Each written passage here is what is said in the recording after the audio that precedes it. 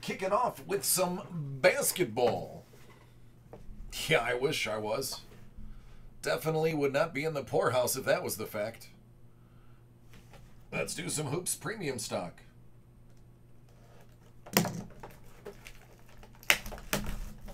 Nope, we don't grade cards. Um, the PSA DNA and JSA authentic- authentication. So if we, let's say, I'll give you an example. Let's say we do a signing with Jim Kelly. We pay for Jim to sign a bunch of items. Um, we have a person who JSA certifies as able to submit items. So he will sign off on all the autographs as witnessed in front of him. And then it's considered it's sent in and then they give it a number. That's that's actually how they do it. A JSA person doesn't necessarily mean somebody from JSA's there. They could approve different people um to sign off on autos. And then they get them.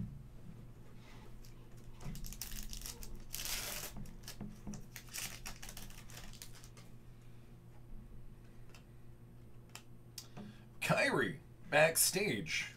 Dre Green.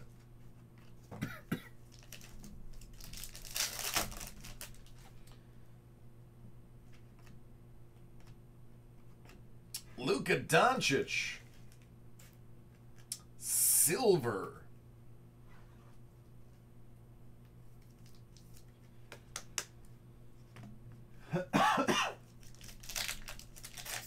Yeah, Dave and Adam's, uh, before Stan Lee died, Stan Lee signed a bunch of stuff for Dave and Adam's and for um, Hit Parade.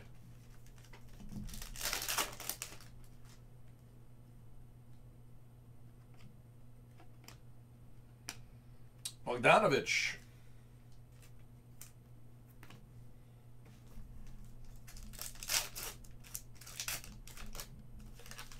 Uh, John, those will be a mix. There's Zion.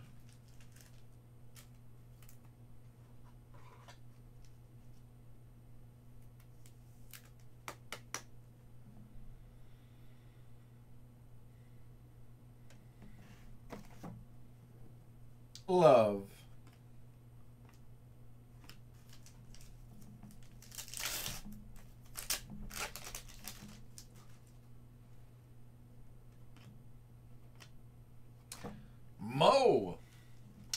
Most autographed jerseys, a high concentration of them, are custom. Uh, the reason they do that is signed jerseys are not intended to be worn. They're intended to be displayed and or uh, framed. So it's pointless to have a $300 jersey autographed if you're never going to wear it. So most companies just do custom ones. That way, if it's sitting in a frame, just a signed jersey. 53 out of 100. Hit Parade Avengers Edition.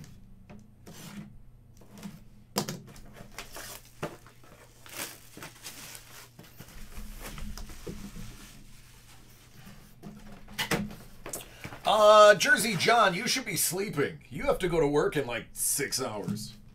Iron Man 259, it's a 9 6 from 90.